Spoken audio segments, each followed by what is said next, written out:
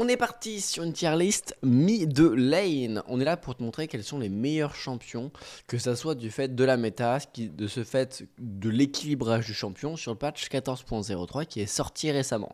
C'est une tier list qu'on va faire d'Iron à Challenger. Donc sois prêt, évite de jouer par exemple ce qui est broken en Challenger et que t'es Silver.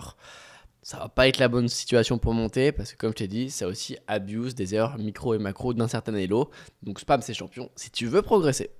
Donc, on est parti en Aeron. Donc, les champions qui vont être un peu trash tier, ça va être les champions qui sont assez durs à maîtriser, comme Zoé niveau création de jeu, comme Kiana aussi qui est hyper complexe. Pour moi, c'est un des champions les plus broken du jeu, mais ça va que être présent à très haut elo parce que t'as pas les situations à cet elo qui vont lui permettre de briller, comme des big team fights, comme des regroupes sur ses objectifs, etc., etc. Et à contrario, il y a aussi Wei aussi qui est bien trop mécanique pour être maîtrisé. Et t'as deux champions qui sont off meta, qui ont été nerfs, qui sont moins viables, qui sont LB et euh, Corki parce que bah, les champions peuvent être forts, mais actuellement ils sont pas très bien balance, donc du coup ils sont un peu trash tier. Ensuite, niveau champion broken, tu vas avoir des champions qui vont permettre de faire de la création de jeu. Ecobull, avec l'engage et le disengage, parce qu'il peut se permettre de go in et se casser, et donc d'avoir un mid-life gratuit ou un mort sur quelqu'un gratuitement dans LoL. T'as le côté où t'as Malzar qui va être là pour avoir une perma-prio sur ta lane et d'avoir un teamfight monstrueux car tu vas pouvoir cut la win condition ennemie. TF parce que il a été up et euh, il est même joué énormément en ADC en top lane, ce qui est d'ailleurs très frauduleux. Mais le champion est actuellement Omega Broken. Si t'as envie un peu de le tester, c'est ton moment. Karma, toujours même delay, elle peut avoir son R à l'infini en late game, elle te, elle te avec sa malfaisance, c'est n'importe quoi. Et les deux pics qui vont être intéressants, c'est Aurelion Sol, parce que la durée moyenne des parties en Aeron va être très longue par rapport aux autres Elo, et de ce fait, le champion est très fort. Et ça va être sans doute le cas jusqu'en Gold, Platine, que le champion aura une grande plus-value. Moi, ce que j'aime bien, c'est la Nafiri, parce que c'est quasiment le seul assassin du jeu qui est broken en mid lane à bas Elo. Donc si t'aimes bien ce playstyle assassin, essaye un peu de spammer un peu Nafiri, ça risque d'être très très très intéressant. Bon, on part en bronze, la méta va être quasiment la même. On fait juste une modification. Comme je t'ai dit, la création de jeu, c'est ce qui te permet de pouvoir faire de tout défoncer. Et bah bien sûr, calez-moi Diana. Diana, très bonne en très bonne prio en lane, et ça va te permettre de gérer très bien tes teamfights. D'accord? À l'instar de Kiana qui a beaucoup de mal à engage, j'ai trouvé une bonne opportunité. Diana, c'est comme Malfit, mais avec deux fois plus d'AOE. Dès que t'as un mec qui est mal positionné, tu peux créer ton engage. T'as de la tempo avec ton double shield. Tu peux jouer Zonia. Et ça va t'apporter énormément de surabilité et de création de jeu. En silver, donc là tu vas voir, ce qui va se passer, c'est que malheureusement Aurelion Sol va disparaître petit, petit, petit à petit. Mais là t'as deux choses. T'as un nouvel assassin qui vient d'apparaître et tu vas me dire, mais c'est pas un assassin qui est Tristana, d'accord? C'est un AD mid, donc ça va te permettre d'offrir à ta team cette possibilité d'avoir un AP support, un AP jungle, ou un AP top. Donc ça va te permettre d'équilibrer un peu mieux les dégâts de ta draft et toi d'avoir plus de création de jeu de mid. C'est un liner qui va être là pour bully, donc c'est un liner que tu vas seulement prendre pour pouvoir défoncer les champions qui ont un mauvais early. Un Aurelion seul en face, let's go, bam bam bam bam bam, et tu le défonces, d'accord? Et après tu vas avoir des matchs, des matchs contrôle, donc Swain, Anivia, Talia, qui sont des matchs contrôle et c'est quelque chose qui va être un peu plus recherché à Stello parce que c'est à Stello où les teamfights commencent à être un peu plus présents mais les teamfights sont commencent à être faits mais ne sont pas très bien joués et de ce fait ces champions qui sont broken en teamfight comme Swain, Anivia et Talia un peu de son côté aussi qui peut permettre de créer de l'engage et la création de jeu avec du catching va vraiment exploser les lots. Et niveau trash tier, on a tout le temps à peu près le même truc. T'as juste la petite Oriana qui vient d'afficher être en bas. Parce que pourquoi jouer Oriana quand tu peux jouer Anivia qui a deux fois plus d'ankiness Pourquoi tu peux jouer Oriana quand tu peux jouer genre Diana qui a beaucoup plus de dégâts niveau combo? On arrive en gold, toute la même situation, sauf qu'on a un petit spawn de Cassiopeia qui reste aussi totalement bah, un champion qui possède une très bonne création de jeu et aussi qui est en fait un match control mid. Et comme je dis, les match control mid à partir de Silver commencent à être très puissants sur League of Legends. En fait, ce qu'il faut arriver à comprendre, et là c'est ce qui est assez intéressant, c'est que la saison 14 est très mal équilibrée sur League of Legends. Avant, tu avais 51, 52 pour le grand max sur certains pics.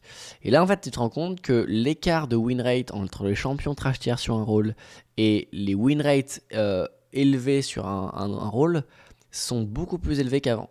Concrètement, il y a des champions qui sont bien moins balance à cause des nouveaux items. Et ce qui se passe, c'est que c'est ces champions-là. Et c'est pour ça que je vous les conseille beaucoup plus que les saisons précédentes pour arriver à briller et pour pouvoir arriver à tout exploser. D'accord? Donc, on arrive ensuite en platine émeraude. Bon, j'ai rien à vous dire. C'est exactement comme avant. Le seul défaut que je peux vous donner, c'est concrètement Vegar. Et je vais essayer d'être un peu en corrélation avec euh, Aurélien Sol. Aurélien Sol qui perd un peu de win rate petit à petit.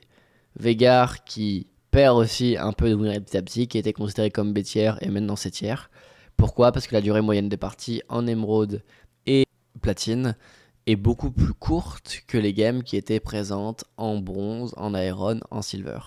Et tous ces champions qui avaient un très bon scaling, bah on va avoir beaucoup plus de difficultés. C'est pour ça que Tristana monte en win rate, que Nafiri monte en win rate. Parce que c'est des champions qui ont énormément de potentiel early game. Et ça va être du même principe. Et c'est ça qui va évoluer après quand on va atteindre le diamant, le challenger ou autre. C'est les champions qui vont avoir la possibilité de faire des rotates. Qui ont de la prio et de la rotate et bah c'est totalement ce que Talia correspond dans League of Legends. On arrive en diamant, et là, euh, ce qui est très intéressant, c'est qu'on a dit quoi? Des champions qui ont de très bonnes rotate. Et bah on a Zoé, Talia, TF, qui sont des champions qui ont de très bonnes rotate, d'accord? On avait Malzar qui était God tier, qui est trash tier. On a euh, Victor qui est un champion qui scale avec ses evolve, qui est trash tier. On a Vegar qui est un champion qui scale aussi, qui est trash tier. Et on a plus Aurelion Sol qui est présent. D'accord? Et tu vois, Arcas me parle par exemple de Akshan dans le chat. Akshan est un champion à tiers. Joue Akshan, c'est un très beau potentiel. Donc, ce qui se passe, c'est que là, c'est des champions qui ont de la création de jeu avec Goldcard, Bull, Talia, euh, Anivia aussi, et aussi des champions qui ont des très bonnes rotates. Et ça va être ça, ces deux mécaniques mid lane, parce que tu es le pilier de la carte, tu es au milieu de ta carte et tu es censé arriver à tout contrôler, où le champion va avoir un énorme potentiel. D'accord? Donc c'est là-dessus où ces mécaniques vont briller et c'est sans doute ce qu'on va voir en challenger. C'est les champions qui ont de la création de jeu. D'accord? Ça va être la Kiana qui était trash tier qui est devenue broken. C'est le TF qui a le stun. C'est le action qui push sa lane et qui se met invisible et on sait pas où est-ce qu'il va. D'accord? Et autrement, c'est des champions bah, comme Talia avec son passif qui a des rotates. Et c'est le playstyle qui va briller en challenger. Mais c'est un playstyle qui n'est pas maîtrisé euh, à plus bas elo parce qu'il vous, vous faut pas en fait. Et c'est ça le gap qui est hyper intéressant sur League of Legends. C'est que le défaut, c'est que vous allez voir des, tier lists, et si une tier list n'est pas triée par elo, c'est du scam, quand je vous le dis. Et en fait, tu vas voir une tier list comme ça, le mec, euh, voilà, il est Grand Master, il est chill, il va te faire cette tier list, il va dire Ah, oh, vais jouer Kiana. Et le défaut qui est présent, pourquoi Kiana est forte? Kiana est pas forte, et tu vas te dire Ah, bah je vais spammer Kiana je vais bien maîtriser le champion et je vais gagner. Le champion n'est pas fort parce qu'il est bien maîtrisé. Le champion est fort parce que la personne qui le joue a une très bonne macro, connaît le jeu de League of Legends sur les bouts des doigts, et donc sait où tous les ennemis vont se déplacer sur la carte, quand est-ce qu'ils vont être paqués, quand est-ce que ça va être joué, et quand est-ce qu'il va se permettre de créer du jeu. Et c'est ça le gap où 20% du jeu ça va être de jouer ton champion, et c'est accessible par tout le monde. Par contre, 80% du reste du jeu, c'est savoir jouer à League of Legends.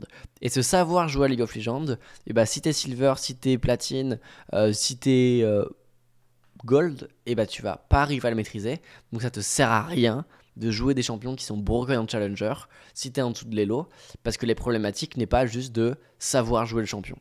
Et tu te dis, vas-y, je vais jouer plein de fois de champion, je vais être trop fort avec lui.